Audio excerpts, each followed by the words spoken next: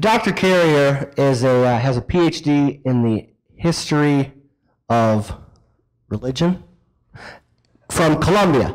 And he's a published author and uh, philosopher. He's going to talk to us a little bit today about uh, Christianity without Jesus. And uh, he teaches classes online. His books and his classes are available at richardcarrier.info. Please welcome Dr. Carrier to the stage. Thank you, sir.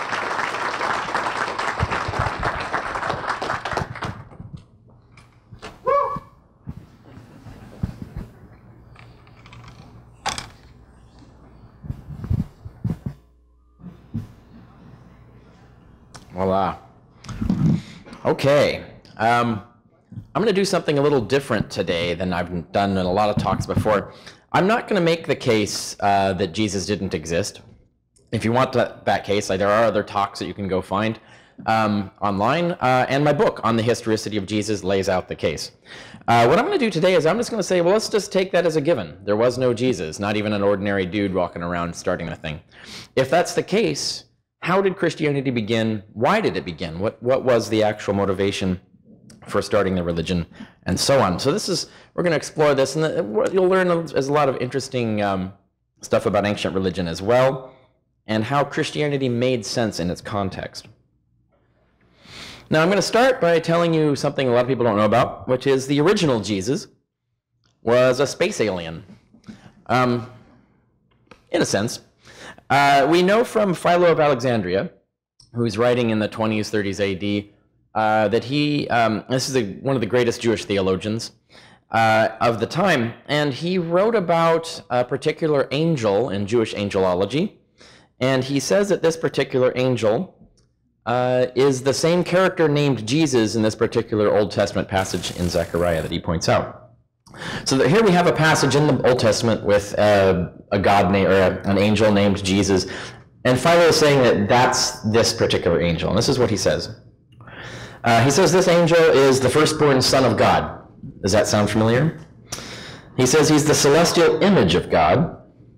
He's God's agent of creation. In other words, God couldn't be bothered to actually do the creation. He actually sent this angel to go do it for him. And he's God's celestial high priest because, you know, everything on earth is all dirty and messy and you got to have your own super uh, amazing space alien temple. Um, so you have the temple on earth is just a dim copy of the true space temple. Uh, and you have to have a true space priest for the space temple. And the interesting thing with this, though, is that this is exactly the Jesus that's in the epistles. All the exact same attributes, same guy.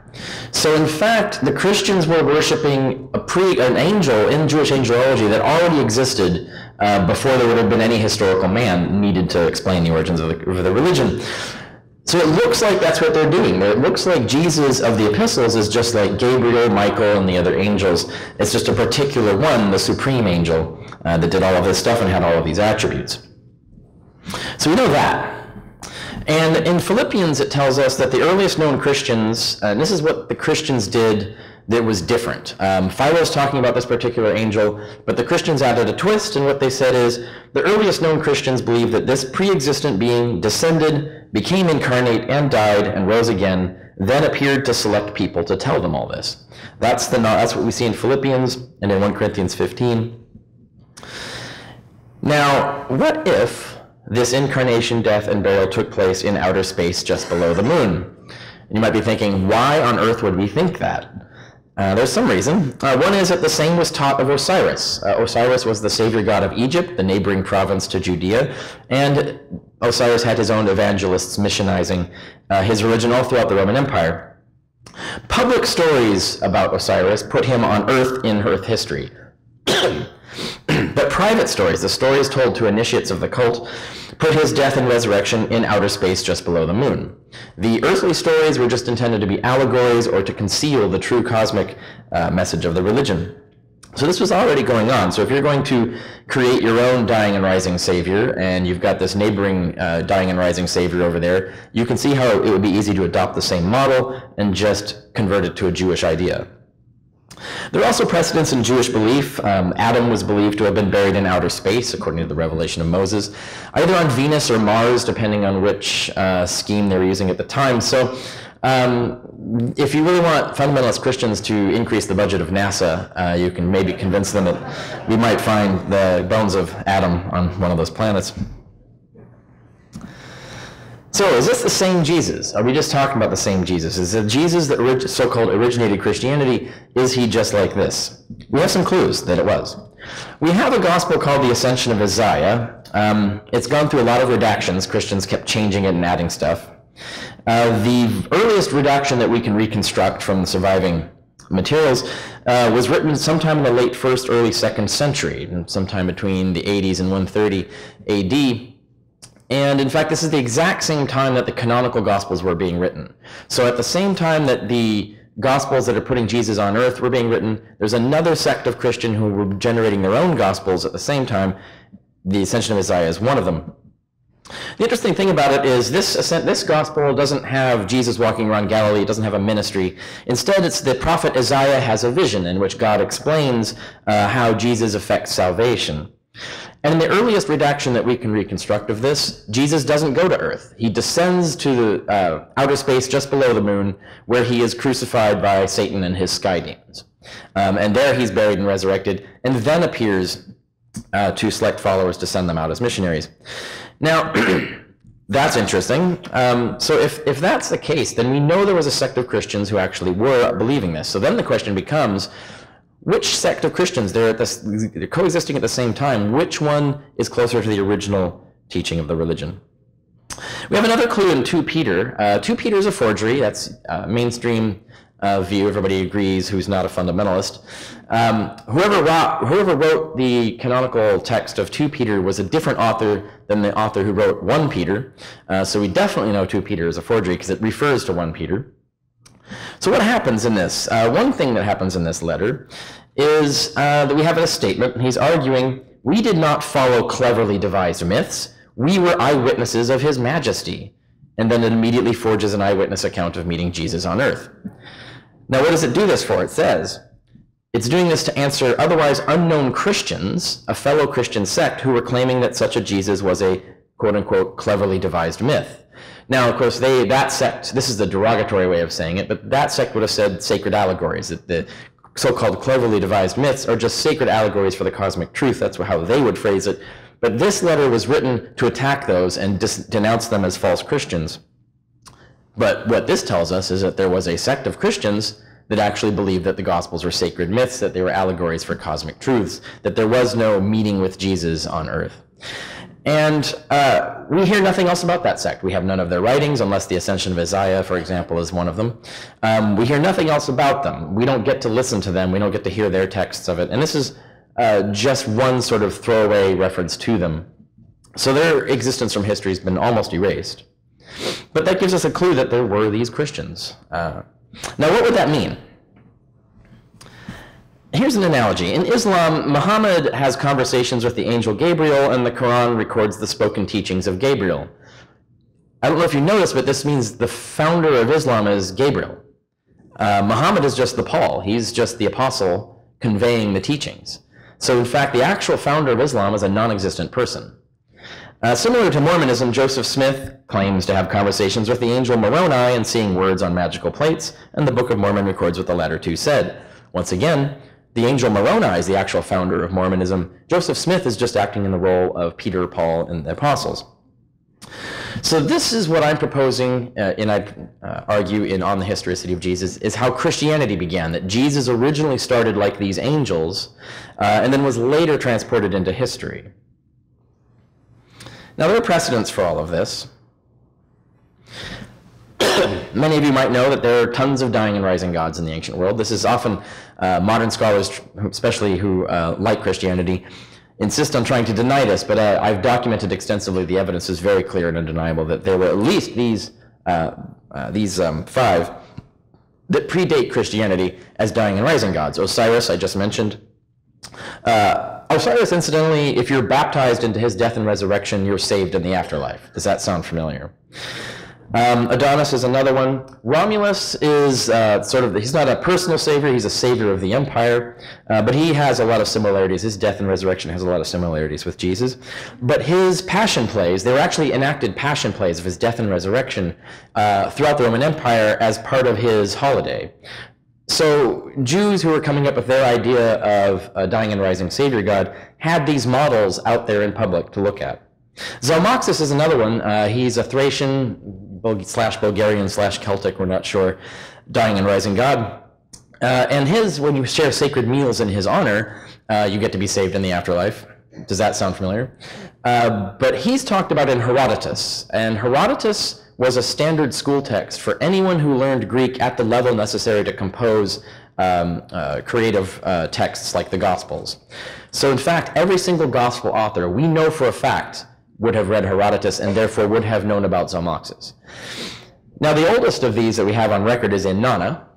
I do think it's interesting that the first dying and rising, and in fact crucified God uh, in history was a woman, and then almost all the others turned into men suddenly.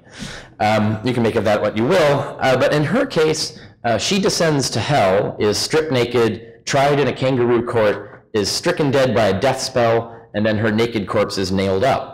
Three days later, her minions come down, feed her the food and water of life. She resurrects and ascends to glory.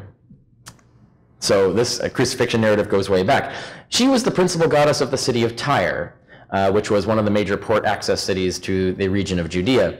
So any of you also know the Gospels, Jesus supposedly visits the city of Tyre. So if Jesus existed, he would have been preaching right beside uh, the temple of another crucified deity that people were worshiping, crucified resurrected deity. Um, that would be an unusual coincidence. But I want to warn you against the bad parallels. There are a lot of attempts to argue for parallels with other gods that don't hold up. Uh, we can't really prove them, um, or they're just false. Uh, the Horus parallels, please don't cite those. Um, we can't really establish those as being as strong as they sound. Uh, the others are the ones that I, that I mentioned. Those we can prove uh, a great deal, but uh, the Horus parallels not so much. Mithra is another one. Oftentimes people will say Mithras is a dying and rising god. That's not the case. Um, we, there were Gospels of Mithras. None of them survive. Uh, but we do have this, which is the comic book version. It's basically the graphic novel of the Gospel of Mithras.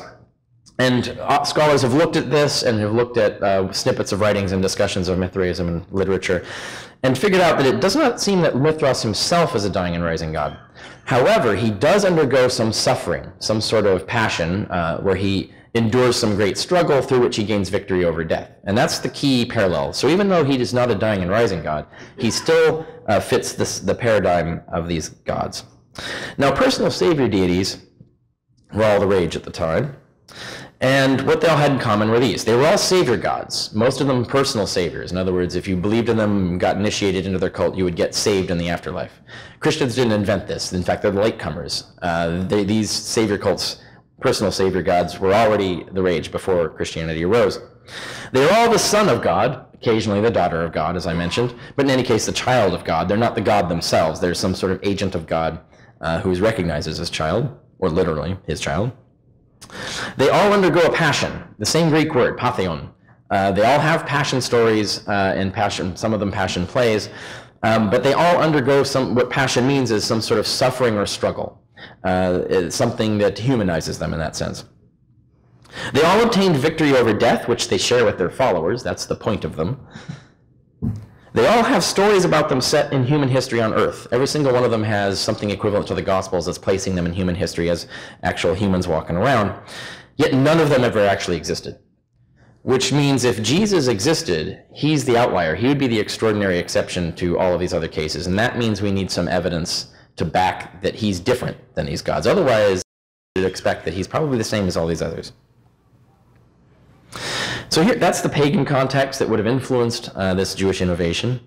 But any form of syncretism takes from the Jews or any other religion, you combine two ideas to make a new one.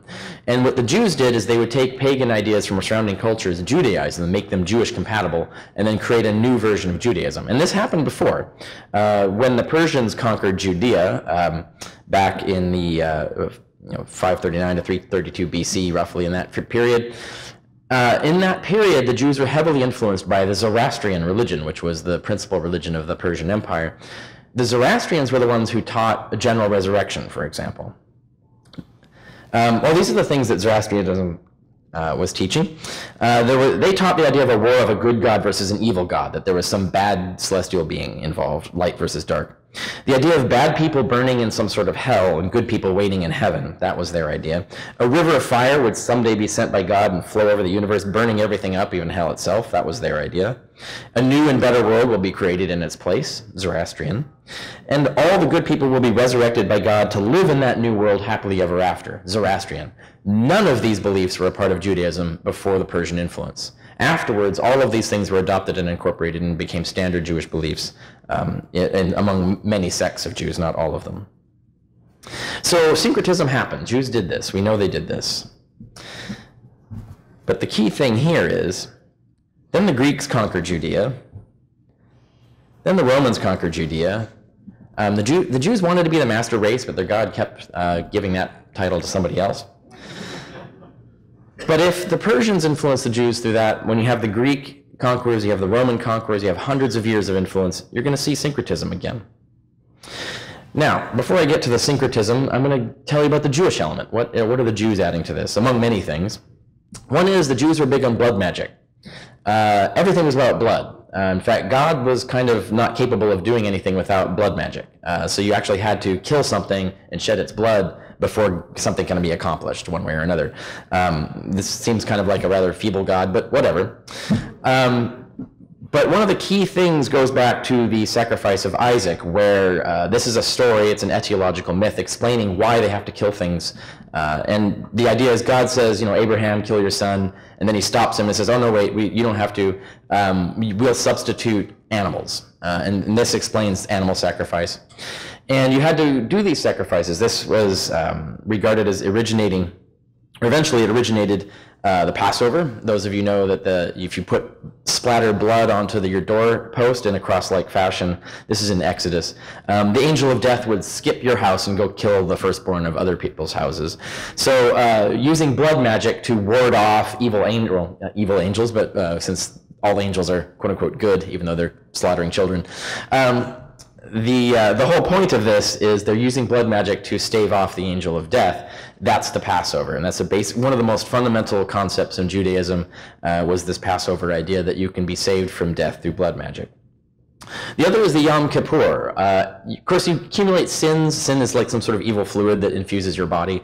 Um, you accumulate it through doing bad, you know, bad things, violating the law, and you have to cleanse that stuff. You have to get that juice out of you. Uh, and so, what you do is you do the big, the big mojo, the big, uh, great. Um, lamb or goat slaughter for the Yom Kippur, where you would pick two animals uh, that looked identical, and one of them you would release, that would be the scapegoat, uh, and eventually people would push it off a cliff so it dies. And then you have the one that you sacrifice on the altar. And then that blood cleanses everybody of their sins for one year. It's only good for a year. You have to keep uh, keep magic up. It has a, a expiration date. Uh, and there's a bunch of other minor sacrifices throughout the year you can engage in. Now, if you understand this, this is crucial. The temple ceremony of the Yom Kippur was crucial to the Jewish concept of salvation. You had to have your sins cleansed in order to be resurrected in the future. So they had to keep casting this blood magic spell every year in the temple. So it made everything center around the temple. This is the role Jesus played in the origins of Christianity. It's very clear in the epistles of Paul. The function of Jesus in their theology is to replace the temple. There are a lot of political reasons why they would want to do that, and I discuss them on the Historicity of Jesus. But uh, the key thing is if you want to get, you want to remove the middlemen, you want to remove the temple cult, you want to remove the priesthood and the reliance on the physical geographic control of the temple, you want to get that out of your religion and still have the mojo. Well, what you do is you invent a sacrifice that's so powerful that it lasts forever. You don't need to renew it every year. And so they thought up, well, what, to do that, we need really powerful blood magic. What would be what would be so powerful that it would last forever? Well, you know what? Like these these goats we're sacrificing every year. That's that's weak mojo. What if we sacrificed a person? Okay, that's pretty. That would be pretty powerful. What if that person is the the son of God, the firstborn son of God? That has to be the most powerful blood magic ever. And so that's the concept behind why Jesus is picked as the figure who has to die uh, to be to have his blood shed, so that you can get this super powerful blood magic that will last forever. And I'm not making this up. This is explained in detail in Hebrews 9. So if you want to actually see the logic of it, it's in there. So that's what Jesus was for, which means you didn't need an actual historical man. You could just you could take an angel and just make up a story, just like they did with Satan. Uh, when they wanted to create an evil god fighting the good god, because they got that idea from the Zoroastrians, they looked in their angelology, they picked one and created a historical story where Satan rebels at some historical point and is cast down, and there's this whole historical uh, context in which Satan is cast out. Jewish belief was that he was cast out to the lower heavens, the uh, spa- outer space just below the moon, and that's where he lives in sky castles up there with his with his demons and stuff. So this turning Jesus into the ultimate sacrifice could be the same kind of story, just like they did to Satan, invented a little history for him and put him in the sky. They could have done the same thing for Jesus. So this is how you do this. You this this combine these concepts. Judeo-pagan syncretism equals Christianity. Let's look at the chart. So you get Savior, sons of God, already pagan element. Jewish element, well, you have apocalyptic and messianic re- resurrection cult. So you just slap that on, add a Savior God that fits into that context, and boom, you've got Jesus.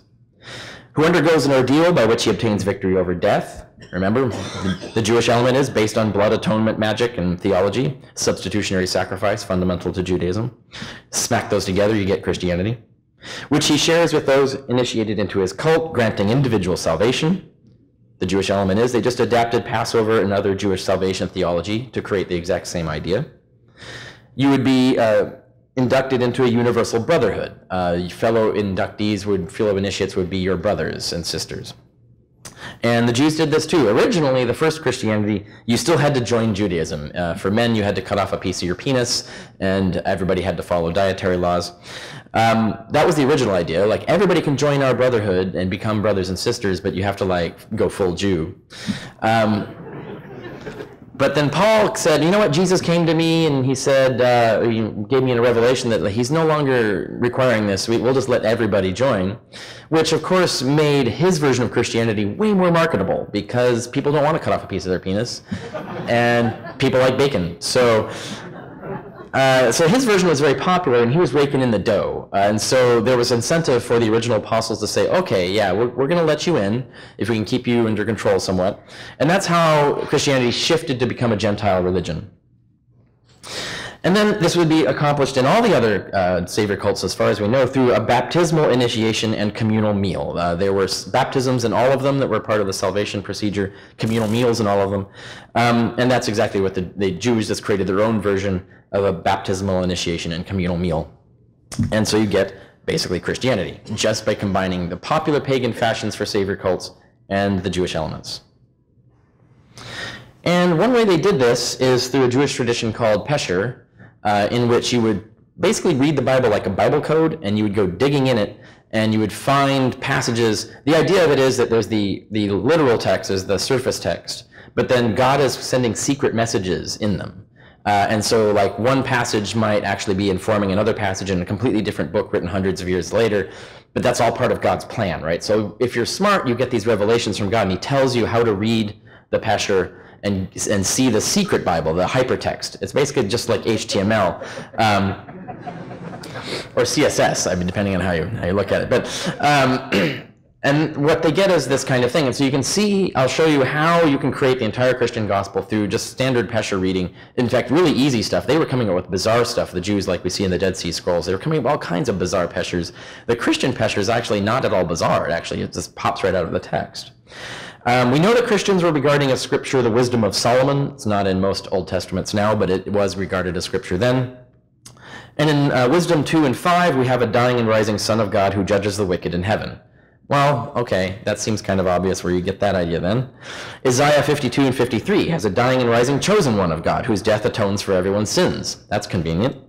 Daniel 9 and 12 has a literal dying Messiah, chosen one of God, conjoined with a final atonement for everyone's sins, which heralds the apocalypse. Sounds like Christianity. And Zechariah 3 and 6, where we have the rising Jesus, son of Jehovah the righteous, who atones for all sins in a single day and is crowned in heaven before God. Um, when you look at these passages, you can just look at them and you say, hey, oh, by the way, Zechariah 6, that's the angel that Philo says, uh, that's the Jesus that Philo says is that angel. If you've got this angel in your system and you find the, the all these passages seem to be talking about the same guy, and you know, hit, you know, through this God's secret methodology, you've got the entire Christian gospel right there. It's easy to discover it uh, simply through believing that God inspired you to discover it as a hidden message in there. You don't need an actual guy, you don't need an actual crucifixion. So we'll recap that. Revelation plus scripture equals syncretism. The Jesus the Christians were worshiping was already a heavenly archangel in Jewish theology, as I noted.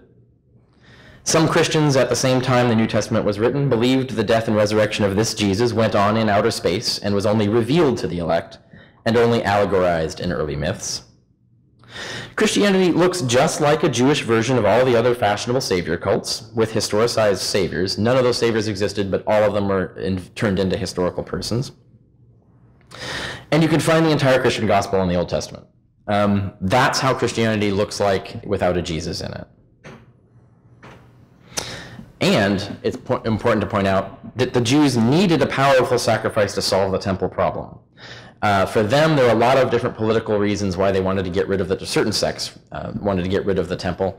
Um, one of the main ones was the fact that God kept telling everybody, like everybody's saying, "Why aren't you bringing on the end of the universe? Please end the universe. Get rid of all these horrible people and just resurrect us already." And God keeps promising them that this is going to happen. So why does God not fulfill His promise? Well, the prophets always say, "God says you're sinning. Like when you stop sinning, then I'll, then I'll take care of this business. It's the sin. The sin. Too much sin is preventing God from coming down." So some clever Jew said, well, you know what?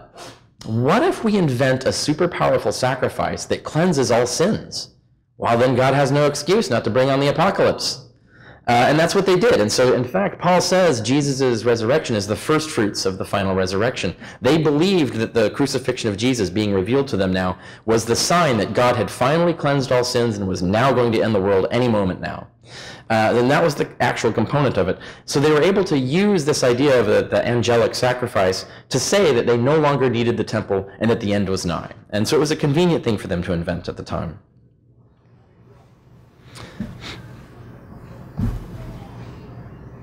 So why believe that? There are a variety of reasons. Um, I'm not going to go into a great detail on them. They're all, you know, in detail in my book. Um, one is it's what typically happens. It's already mainstream now that we know the patriarchs, Moses, Abraham, are fictional. Uh, they're mythical people. They were invented and their stories invented in order to give authority to the teachings.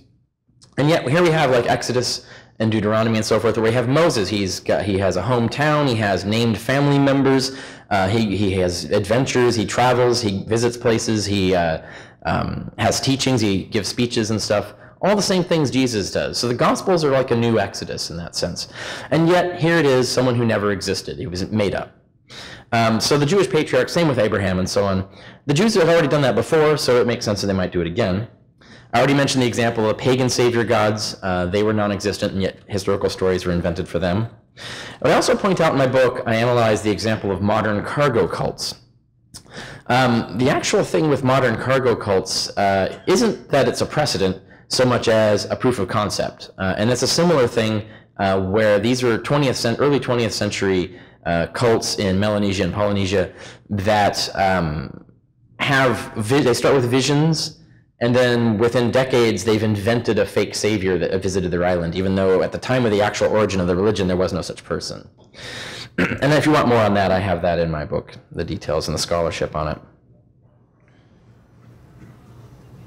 But the other reason is that our sequence of evidence corresponds to it. And this is how it goes. The epistles. Now, some of the epistles are forgeries. This is mainstream. Everybody knows this, so we exclude them. But that leaves us with seven epistles of Paul and the epistle to Hebrews, perhaps. The epistles only speak of a pre existent celestial being and a revealed gospel. That's all they ever mention as source material is revelations and scripture. That's the only place they don't talk about people meeting Jesus or sitting at his feet or anything like that. It's not in there. All they have is this celestial Jesus and revelations. Now, Gospels come decades later, and they're wildly, deliberately fictional. Um, I'm not going to make that case. I think most people here already agree uh, that the Gospels are baloney. They are, in fact, very cleverly constructed myths that serve the purpose of communicating certain ideas and ideals that they wanted uh, to represent. But it's the exact same way the other savior gods were historicized. Historical stories were created for them to represent things that that religion wanted to represent, not because they had sources for it. It wasn't that there was an actual dude.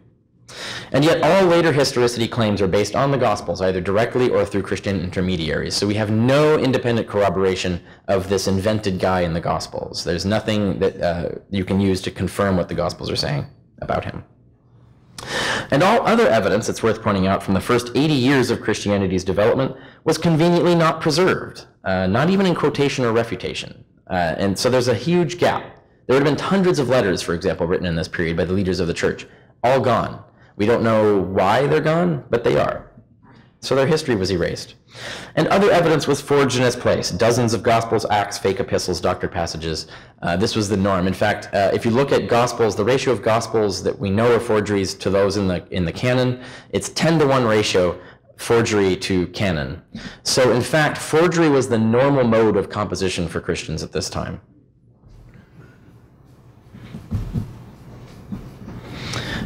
So this is my proposal, that Jesus began as a celestial revealed being, just like Gabriel and Moroni.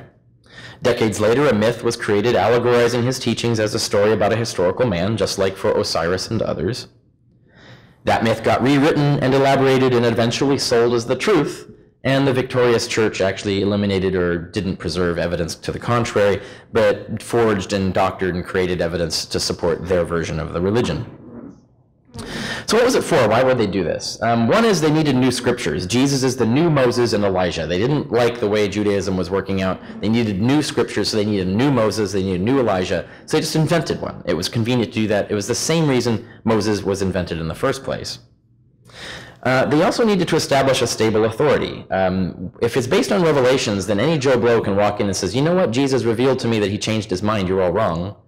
Uh, if you want to put the stop to that, you can say Jesus was a historical person. He taught so and so, so and so taught me, and so we have a pedigree. What's your pedigree? Um, so you can actually try to put a control on it. Now, uh, it was a propaganda arms race in this sense. So the, the to get rid of to stop the revelation people, they created a historical and a pedigree situation. But then, of course, the response to that in this arms race was that people started inventing their pedigrees, uh, just as the first ones had been invented. So that didn't work out in the end. But uh, it is the logical progression of things, and Robert Price has shown that uh, Islam had a similar thing with the production of the Hadith. Uh, the Gospels written for guides for missionary life, uh, how to deal with miracles, family, doubters, enemies, etc. These are stories that you tell to actually educate people about how to deal with certain things in life or what they mean. It was also a guide for explaining ritual, the baptism, Eucharist, martyrdom. What were these things? What did they mean? You would create a story that would do that. And explaining the gospel itself, the salvation. Through parables, Mark Jesus says that he only taught in parables that conceal the truth, and that the truth is not that the parables are historically true, the truth is the allegorical meaning. And that's kind of a clue because if Jesus taught that way, the evangelists could be teaching that way. The Gospels are just extended parables. Uh, and as John Dominic Crossan wrote a book, The Power of Parable, just recently, he makes this case uh, that in fact the Gospels are just big parables uh, using Jesus as the central character. So that's uh, Christianity uh, without Jesus. Thank you.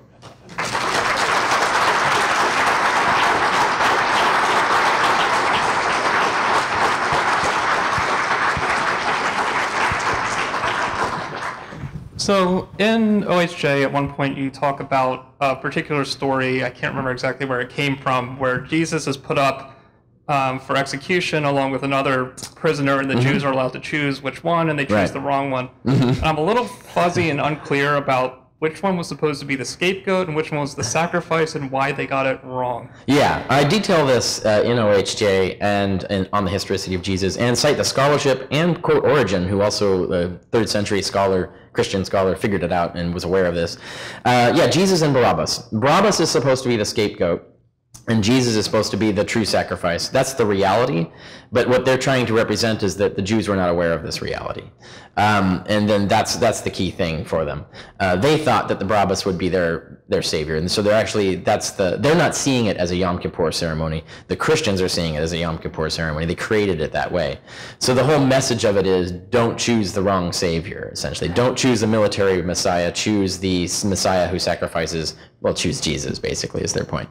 Um, but for more detail on that, yeah, you can read different aspects of it. Like Origen's discussion of it is probably one of the most important because that's an actual Christian in the third century century telling us what it means.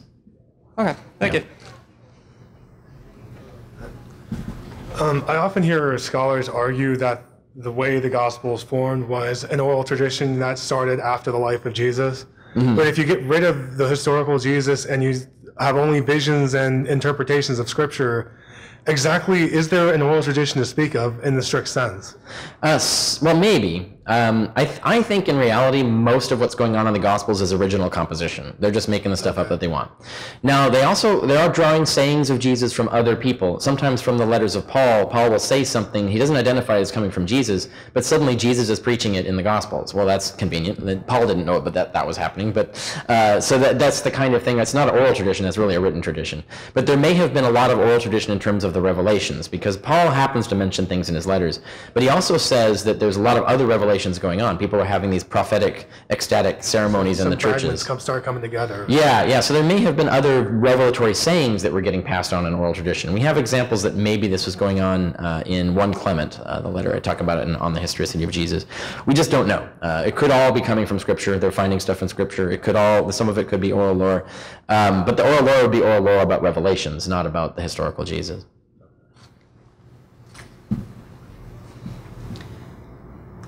As uh, far as the way Zoroastrianism, um, if that's Yeah. um, influenced Christianity, um, like as far as heaven and hell goes, um, I one- one one thing I noticed like when I was reading the Bible, like a K, I'm not sure if it makes any difference, but K KJV um, without the Apocrypha, but um, was that in the Old Testament, heaven and hell seemed to always mean like the sky or um, the ground or something like death.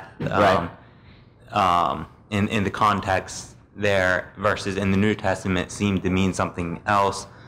Um, I, I, I was wondering if I could infer from that that the Zoroastrian influence would have been right around Yes. 100 AD. I mean, Oh, no, no. Uh, or earlier. a Um, lot the- earlier. Yeah, the, well, the, it's it's in, what's called intertestamental. So the, the a lot of the influence came about in between the conclusion of the Old Testament and the start of Christianity. So a few hundred years there. so we're talking roughly like 300 BC, let's say, but between that and 100 BC is when a lot of this stuff is being integrated.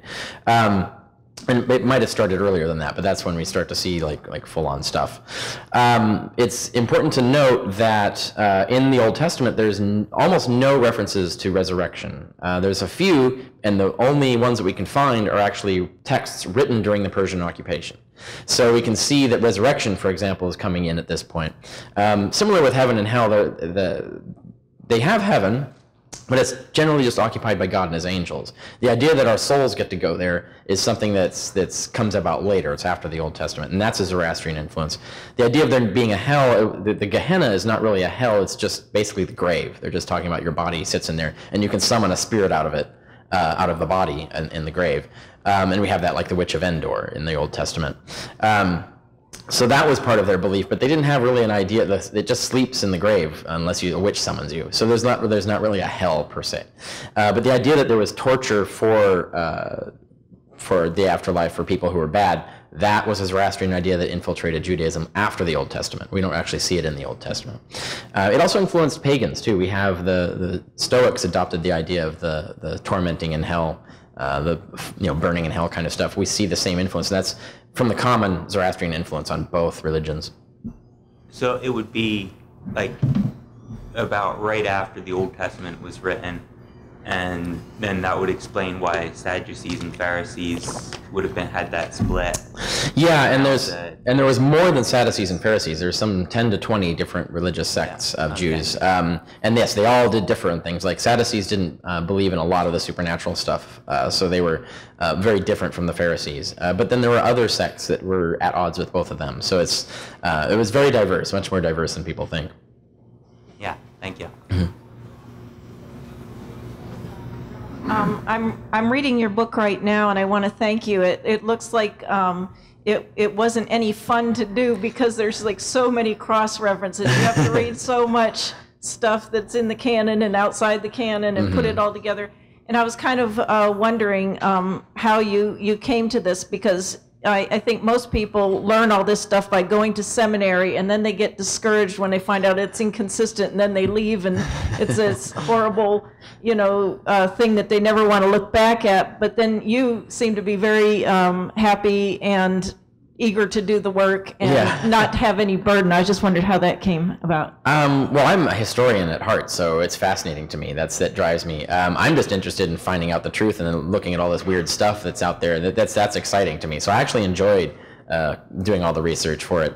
Um, the um, uh, the reason is though, uh, my PhD in ancient history. What one of the functions of getting a PhD in ancient history, like at Columbia University or something like that, uh, the function of it is to teach you to do exactly these kinds of things. So you have, like, here's a problem in ancient history I want to solve procedure we go through to get myself informed on all the materials and then build a hypothesis and test a hypothesis. Um, so that's why I had, was, had the drive and capability to pull that off is that I'm coming at it not from a Christian trying to defend the tradition, but from an outsider just trying to find out what the truth is and actually studying this just the same way I would study Osiris cult or any other religion. Um, so in that sense, it was, it was fascinating and enjoyable. Hi, Richard. Thanks for the talk. Very good. Um, very enjoyable. Uh, my question is based on an assumption I think is pretty safe. You're familiar with Bart Ehrman's Historical Jesus. Yeah. book, right? Mhm. Okay. Yeah. Uh, Right. So basically, um, I'm usually a fan of his work. I think he does pretty good work in general. He does being- often, yeah. Uh, Yeah, I I, still being- recommend Jesus Interrupted as the best introduction to New Testament studies. Even when it's wrong, it's correct in presenting that's what the mainstream view is. So, uh, Right, so it's a really good text in that regard. And he's many others. Forged is one of a great book too. Yeah, yeah.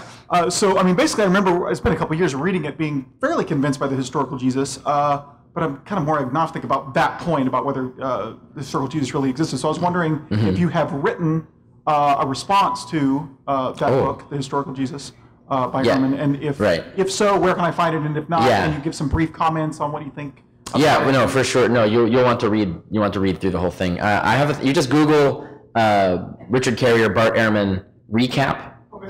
uh, and you you should find it. It's it's my recap of all of our exchanges, me and him, uh, over time, and where they concluded.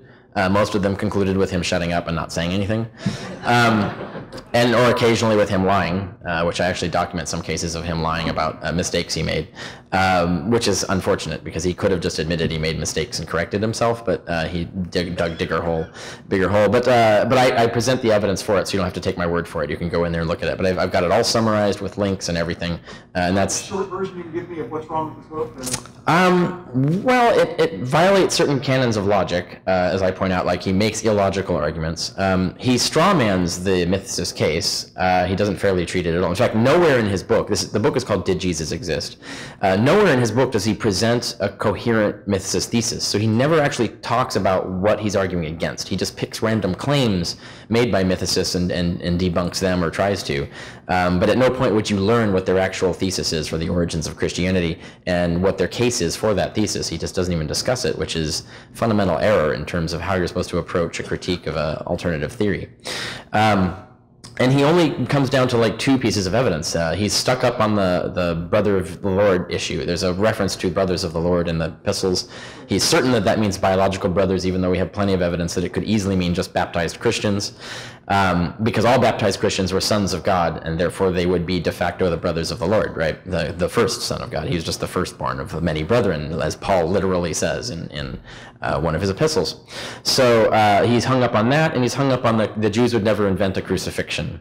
Um, and that doesn't make any sense. Uh, of course they would. Uh, they invented all kinds of wild things. Uh, and it served a fundamental purpose. And that's kind of what my talk, yeah, it's kind of what my talk is here about today, like why they would invent that. Like they needed it to accomplish certain political and social goals. So, Great. Thank you very much. Mm-hmm. My question is somewhat similar, but I wanted to ask you. We talked about Bart Ehrman a little earlier, and uh, what do um, biblical scholars such as Bart Ehrman present typically as their strongest argument from the for the existence of Jesus, and why, in your opinion, it doesn't hold up? Yeah, I mean, there's what I think is the strongest argument, and what they think, I'm not sure what is their strongest argument. I, I personally think Can you there's. do both? Yeah, I'll try. Um, what, what I think is their strongest argument is the brothers of the Lord and the birth statements uh, in the epistles, which I address in On the Historicity of Jesus. Um, it's the strongest because you do have to make in a case that explains why it doesn't hold up. It's not obvious. Um, so, so at least that's that's all they've got really. So that's that's the argument has to hinge there as to can we establish that he, he's talking about biological stuff or not. Um, and, and that's all covered in On the Historicity of Jesus. Uh, sometimes I get the impression that they think their strongest argument is that they can prove historical stuff in the Gospels, which bewilders me because you just can't. Um, and many scholars have pointed this out. I, um, in my, my first book uh, in this series, Proving History, I document that every single scholar in Jesus studies who published a dedicated study of the methods being used to extract history from the Gospels, everyone who's published a dedicated study of those methods has concluded they don't work. Um, and yet Ehrman keeps using them over and over again. He, seem, he seems really impressed by these methods. I don't understand why he hasn't caught up with the rest of his field on this. Um, so I find that to be an extraordinarily weak argument, uh, but sometimes it looks like they think it's a strong one. a little off topic, but Okay. um, Philo of- Alexandria. I've been contemplating uh, reading some, but I'm afraid I just not have the context for it. Is there Hmm. A good gloss that's worth reading, or A good, a good I- what? something, a, a, a some sort of a summary or a? Uh, You mean a, should I actually look for a translation? Would I understand this, not living in in the culture? yeah, but you mean specifically the passages I'm talking about, or all of his all of works? Oh yeah. Um, well, yeah. There's um, uh, Yonge, uh, Y O N G E, is the translator of the collected works of Philo. You can get in one big book, and it's you can get it hardcover, kind of cheap actually. Uh, I have to warn you though, it's huge. Uh, it's bigger than it's way bigger than the Bible. Like we have lots of Philo's writings. Interestingly, we do not have all of Philo's writings, despite all of the, the vast number of his writings being preserved. Certain ones weirdly were not, like his entire history of Pontius Pilate it's mysteriously disappeared from this collection. Um, I hypothesize that that disappeared because Christians were upset that it didn't mention Jesus. Um, but uh, but we know it's, it's a lot of stuff, and a lot of it is really tedious and boring because it's it's weird religious commentary. That, although some of it's really fascinating, because you're like, this is bizarre. This is like reading Scientology. Um, so uh, yeah, so that that's that was my, my caveat. But the book is easily acquirable. Okay, Yeah. that would then you've essentially answered. yeah. Thanks. Okay, that's it. Thank right. you, sir.